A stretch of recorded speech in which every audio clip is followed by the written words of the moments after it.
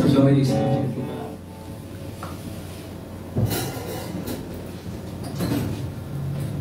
Good morning po sa ating lahat. Ang reading po natin ngayon ay nasa Salmo 66, verse 1. Kayong mga tao sa buong mundo, isigaw ninyo ang inyong papuri sa Diyos ng may kagalakan. Umawit kayo ng mga papuri para sa Kanya, parangalan ninyo siya sa pamamagitan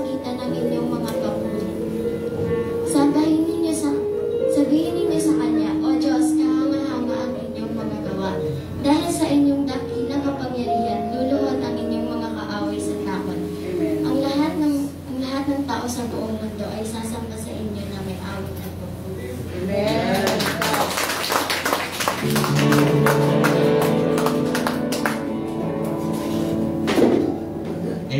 Sabi daw buong mundo magpupuri na awit. Amen po ba? Alam niyo po ako rin nakakalungkot kasi may mga tao ngayon na gustuhin man nilang mag-worship, hindi sila makapunta ng church. Either through one way or another. Um, so habang tayo nakakatayo pa, habang tayo malakas papupuri natin ngayon, sa sabi ng survey, 80% simula nung natapos yung pandemic, 70 to 80% ng mga churches ay hanggang ngayon sarado pa rin. Mas lalo sa mga countries na ano, pinagbabawal talaga yung mga places ng gathering at worship. So may mga tao ngayon na mas kinag-aaral nila kung gusto makisalo, makifellowship, hindi nila magawa. Pero tayo mga kapatid, nandito tayo, we are together, nanatili tayong buo. Isn't this an opportunity na purihin natin ang Panginoon? Amen po ba? okay. Medyo ano pa, medyo... But we're gonna get there. Amen po ba? We're gonna worship the Lord in spirit and in truth. Hallelujah, Father God. Maraming salamat po sa isang morning na in-offer sa amin, Father God. This very moment, Lord, marami mo kami hindi ko makapunta, Lord, or hindi ko maka-worship sa iba't ibang bahagi ng mundo, Lord. We know, Lord, na kami ho'y pinagpala at blines, Lord, na magsalo-salo, Panginoon, sa Espiritu at sa katotohanan ng Father God. Lumalapit mo kami ngayon, Father God, sa iyo, Lord. Nagpapakumbaba, Lord, at sasamba, Lord, sa nag-iisang Panginoon, Lord, sa pangalan ng dakilang pangalan ng anak si Jesus. Hallelujah. Hallelujah. Purihin natin siya. At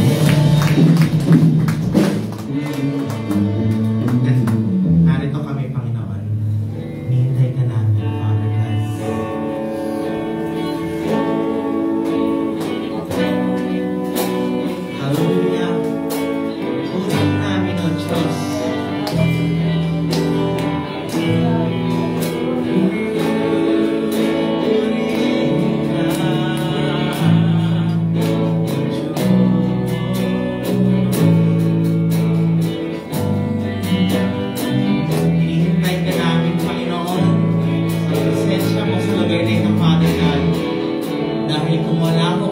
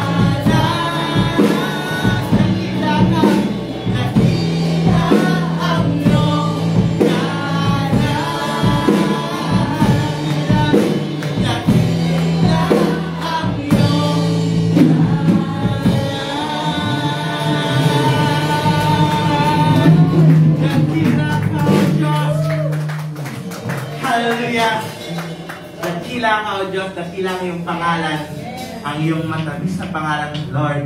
Sama-sama natin siyang pupurin at sasambahin. Amen po ba? Amen. Tayo sama-sama ng awit, sama-sama sasayaw, sama-sama magsasabi ng Hallelujah.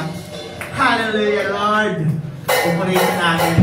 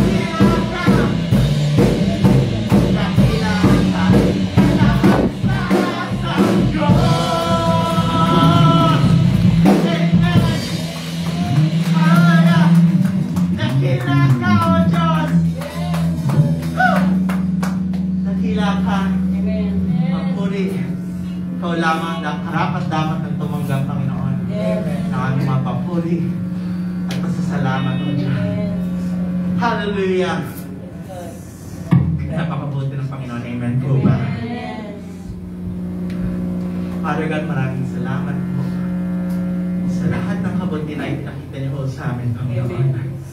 Salamat dapat ko kayo, Lord. Pulihin ang ngalan mo. Hallelujah.